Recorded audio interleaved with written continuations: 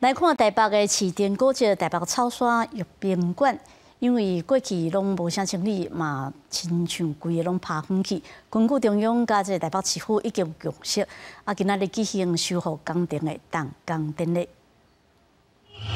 台北市长周万安等官员则会主持修复工程的动工典礼，希望修复完成了后，市电古迹台北草山牛宾馆会当重现较早的风采。日治时期为了迎接日本皇太子修建的草山牛宾馆，国民政府来台了后，嘛是考试院长孙科的官梯，一直到一九九七年，因为厝无法度过大，孙家人搬走，过当年指定做市电古迹，因为较无整理，所以规个荒。台北市其实是全国所有文化资产最多的地方，维护的人力跟费用当然是一个很大的成本。所以这一次我们非常感谢中央，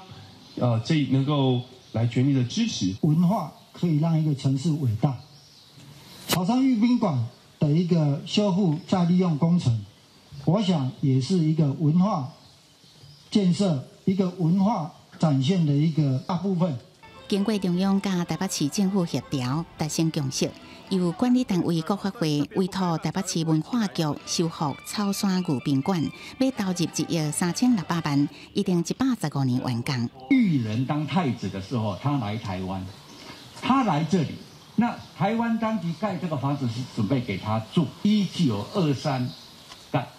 到一百年，啊，这也是啊一个机缘。台北市政府是希望国发会未来确认草山牛宾馆的营运方向了后，会当和古迹充分活化利用，并且甲草山四周围的文化资产共同串联，发挥古迹活化了后的最大效应。记者综合报道。